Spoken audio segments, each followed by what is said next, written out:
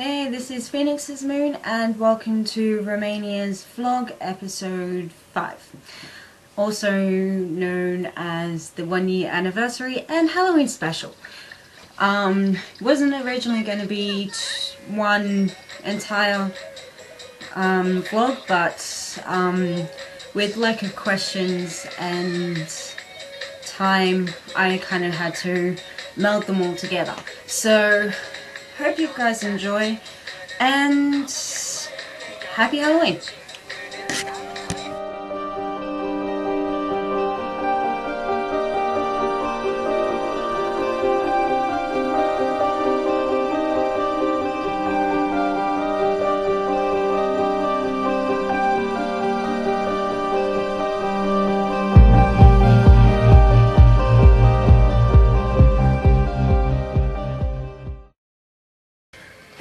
And welcome to Romania's vlog. my god, come on. I'm starting to get really annoyed at this. Let's just keep going. Yeah, I say we just keep going. Right, so this is the one year and Halloween special for Romania's vlog. Aren't you guys excited? Oh, I know, I am.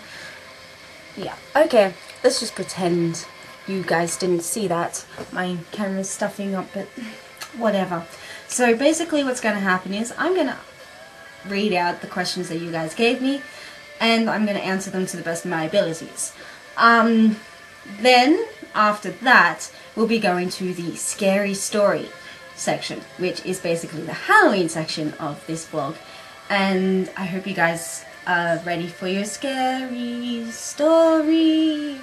Um, because I shall be reading and perhaps putting a Romanian twist, maybe, maybe not, I don't know, on it. So, let us begin with the questions. Number one, how did you meet England and Norway and made the Magic Club? Hmm, right, well, England and Norway I kind of met through conferences, as you would, especially with the UN now and etc. etc. Um, the Magic Club was kind kind of started because of Gakuen, um, the school. Um, I wasn't actually supposed to be in it. They kind of didn't want me in it, but I got in it anyway because I kind of told England that I was still his tea. Yeah, England didn't really like me that much for a little while, but then he sort of got over it after he realised that I didn't steal his tea anyway. And yeah. Okay, number two. Hey Romania, how is your relationship with Bulgaria at the moment? My relationship is perfect, thank you. We kind of can't really see each other at the moment because we've been really, really busy. Um, but in the next couple of weeks or so we have a break when I was planning on taking him out for a picnic. I don't know, to eat picnicky things. Um, Question number three. Dear Romania, what country has better tasting blood? Um, I don't know how to put this to you guys, but I'm not a vampire! Okay, if I was a vampire, I'd probably say Bulgaria, but that's just my, that's just my thoughts. Um, yeah, I'm not a vampire, people. Stop asking me vampire questions. Question number four. Romania. How is your relationship with Hungary? Um, it's mutual. And it will shall, it shall stay mutual.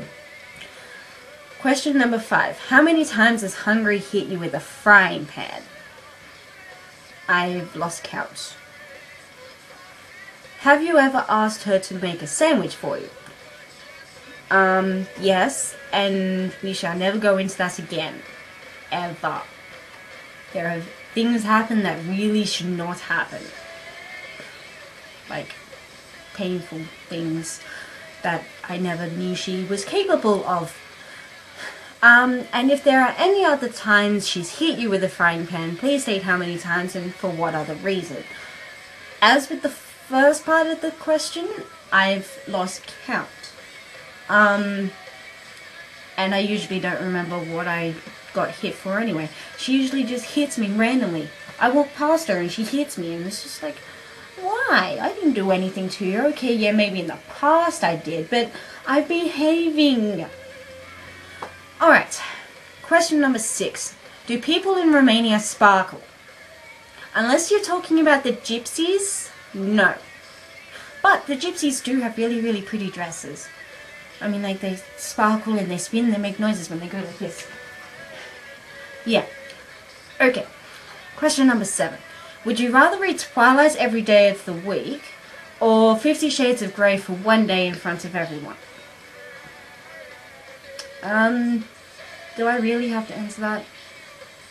I'd probably go for the Fifty Shades of Grey because, well, it'd be funny. Maybe not dressed up as me. I'd probably pretend I'm someone else. Maybe I'll pretend to be England and do that. That'd be funny. Um, since he's always going on about being a gentleman. Um, and then I'll probably end up getting him by But whatever. Okay, question number eight. What was your opinion of Vlad the Impaler? Ah, Vlad. Right. Well, Vlad the Impaler to me, not to anyone else, because everyone else is just, they suck. Oh, and Bulgaria, like, um, as well. Me in Bulgaria. To, my opinion of him was that he was a great man. He was a hero.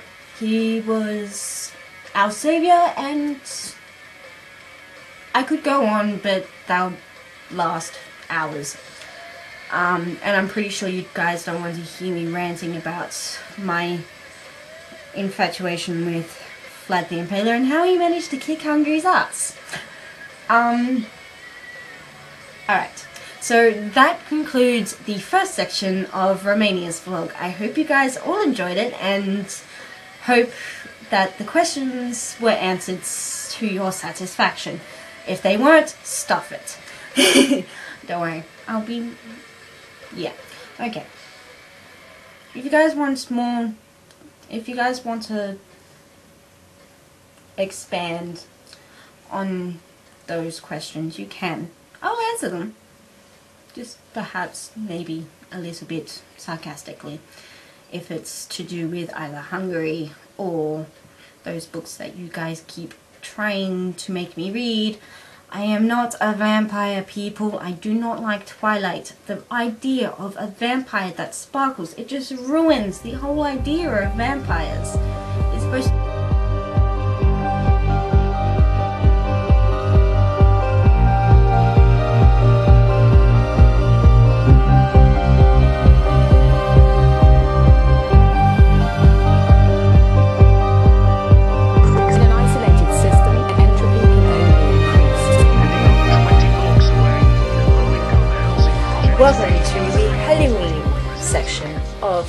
this vlog. Today I shall be reading a scary story based in London, England called A Free Place to Sleep. I hope that you guys enjoy it as much as I am. It was 2 a.m. in London, England. Tom and Dave were wandering through the streets like two sleepwalkers. They had inquired hotel after hotel. None had vacancies. Now their footsteps echoed eerily through the empty narrow streets of the city. I thought London didn't have any fogs anymore, Dave grumbled. During the last hour, a foggy mist had been settling over the city. It was getting difficult for them to see the hotel signs and harder yet to see the street signs. I've got to find some place to lie down, Tom moaned. I don't care where, I just can't go any further. But go on they did, straining their eyes through the fog to find a place to stay. They walked from Piccadilly Circus to Green Park. Then they headed north to Oxford Street. As they were walking down the street lines with old four-story buildings, they saw a sign. It was hanging on the black iron fence in front of the building. For sale, it read. Listen, I've got an idea, Tom said. This place is probably vacant. What do you say we break in here and sleep for the night? I'm ready to try anything, Dave answered. The two climbed over the fence carefully, putting their feet on the iron crossbars and then leaping over the spiked points. It was tricky to do as they were tired. Once over the fence, they tiptoed over to the front of the building. Through one of the windows, they could see rooms that were being remodeled. It's empty, just as I thought, Tom whispered. Yeah, but how are we going to get in? Dave inquired. Tom reached into his pocket and pulled out a Swiss army knife. He wedged the knife between the top and bottom window and turned the old brass lock. Then he pushed the bottom section open. Tom and Dave with a Tom looked at Dave with a smug look of satisfaction. The two boys ho- hoisted themselves up onto the window ledge and then climbed into the room. I don't want to sleep here, Dave said, looking around the room. Too many nails and tools lying around. Okay, we'll check out the other rooms, Tom said. They went into the hallway of the old house. The cramped stairs twisted up like the stairs of an old Amsterdam canal house. They travelled up to the second floor. They tried the doors on all the rooms. Everything was bolted. They climbed up to the third floor. Again, all the rooms were bolted shut. Looks like there is more than one floor, Tom said, looking up at the staircase. Let's go. They trudged up the final flight of stairs wearily. Dave was starting to complain about being tired again. On the top landing there was only one door. The roof slanted steeply on all sides. Tom tried the doorknob. To his relief, it opened. In the room, there were two single beds and a dresser. A window overlooked the street below. Not bad, Tom said. He walked over to a stand and lit the candle that stood on it. Dave fell down on one of the old beds in exhaustion. Just then, a loud bang echoed up the staircase from below them. Dave jumped up. What was that? Tom crept out into the hallway and stood there for a minute. When he came back into the room, I think it was just the window we came in. It fell shut. We forgot to close it, didn't we? Oh, yeah, Dave said, sitting down on one of the beds again. This place gives me the creeps, though. Come on, it's a free place to sleep, isn't it? Tom said. They both lay down on the beds. Tom lit a cigarette and reached to blow out, blow out the candle. As the light was extinguished, a weird cackle, almost like a laugh, seemed to come from the ceiling. Was that you, Tom? asked Dave, sitting up in his bed. No, I think it was just something on the roof. Maybe we should get out of here, don't you think? Tom leaned back down in his bed. And go where? They were both quiet for a while. I mean, maybe this place is haunted or something, Dave said in the darkness. Be quiet and go to sleep. Dave stopped talking, but then something else broke the silence. It was the sound of feet moving up and down the staircase but the feet were moving faster than any human feet could. The footsteps seemed to slide, to slither, to glide up and down the stairs. I want to get out of here, Dave insisted in a panicked voice. Okay, let's go. Jump. Tom jumped out of the bed and lit the candle. Just then, doors started slamming downstairs. The doors had been locked before, and that weird cackle came again, this time from the hallway. I'm afraid to go out there now, Dave said to Tom. He looked scared. Yeah, maybe we better stay in here. Tom walked over to the door. There was an iron bolt on it. He slid the bolt across the door frame. Nobody's going to get in through here. Tom went back and sat down on his bed. He tried to avoid Dave's eye. He could tell that Dave was freaking out. He didn't feel so brave himself. Listen, we're okay, he said. There was a rattling sound from the door. The two boys' eyes were fixed on the doorknob. It was moving backwards and forwards. No, no, no, Dave was shaking fright on his bed. At least the bolt is here, is there, Tom said to himself. But then, by its own will, it seemed that the bolt slid back from the door frame. The two boys watched in horror as the door slowly, ever so slowly, moved open. After a few inches, it stopped. Then dead silence. Then the cackle. The weird, sick cackle penetrated the room, and through the narrow opening in the door, a shapeless green blob began to ooze. Dave was frozen. Tom jumped up and stood in, in a corner. More of the blood blob oozed in. It was like slimy green jelly and had smell of evil. Then, suddenly, head appeared out of the green ooze. The head had a horrible face, face covered with knife wounds. A cackle came from the face. Then, as suddenly as it appeared, the head disappeared into the green blob. On the bed, Dave was making choking sounds in his throat. He was trying to scream but couldn't. The blob oozed through the air towards him. It seemed drawn on by his fear.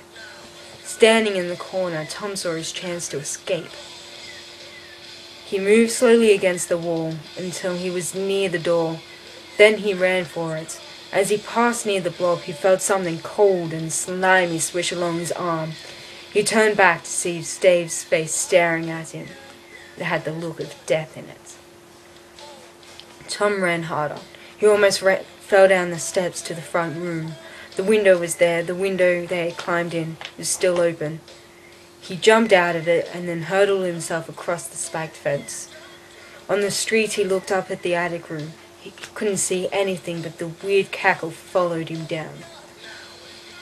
Tom didn't know what to do. He ran out into the foggy street. He stopped for a moment, then behind him he heard Dave scream in agony. Tom started running again. He ran until he came to St. James Park. Then he kept running and running. London, 21 June.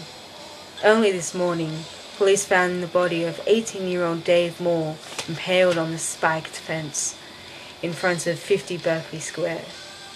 The fourth story window of the house was gaping open. Homicide detectives believe the young American was pushed from the small attic room. His traveling companion, 18 year old Todd Dodd, is being sought for questioning. Suicide was ruled out because the victim's body showed signs of a struggle. Although 50 Berkeley Square has long been known as Haunted House. The homicide squad told reporters that Scotland Yard believes in no ghosts. And that is it. I hope you guys enjoyed it, and I hope that you are freaked out thoroughly by this story. But it's not really that scary. I have yet to find a terrifying story that will even send the strongest person, aka Russia, well, he's not the strongest, but in terms of creeping people out, he is hopefully I can find one that can scare him. Who knows? I hope that you guys have enjoyed Romania's one year and Halloween special vlog and I hope that you guys have a wonderful and scary Halloween.